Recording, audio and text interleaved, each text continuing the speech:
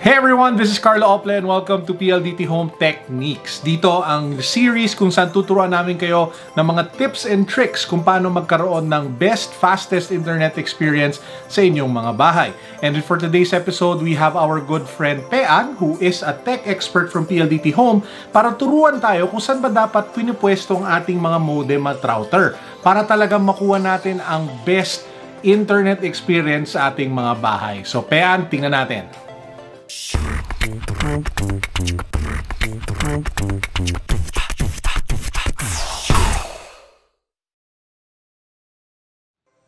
Pean, maraming maraming salamat for being with us today. Brother, ang tanong ng bayan, saan ba dapat linalagay ang ating modem at router? Saan ba pinipwesto yan for the best coverage possible? Ganito kasi yan, Carlo. Ang modem dapat nakasetup sa open space, malayo sa direct sunlight at sa mga possible obstructions that could hinder or weaken the signal. Like what? Like thick or concrete walls, glass or mirrors, and appliances like microwave oven. Ah, ganun pala yon. Brother, question pa. May nakikita kasi option dito, 2.4 tsaka 5 GHz. Alin ba dapat yung dapat pindutin? Alin ba dito dapat for the best experience possible? Kaya ka may dalawang options na pwedeng piliin kasi meron kang tinatawag na dual band Wi-Fi modem.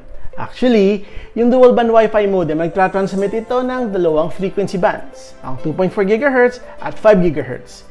Pipiliin mo ang 2.4 GHz kapag malaki ang bahay mo because it has a wider coverage.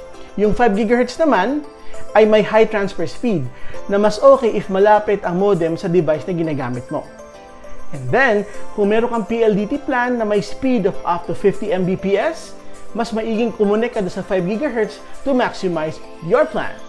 Ah, gets ko na yung difference. Ganun pala yun. Tagal ko na iniisip ko ano yun eh. So guys, kung nagustuhan ninyo, give it a thumbs up. Huwag nyo kalimutan mag-subscribe dahil marami pa kami mga tips na ibibigay sa inyo dito sa PLDT Home Techniques.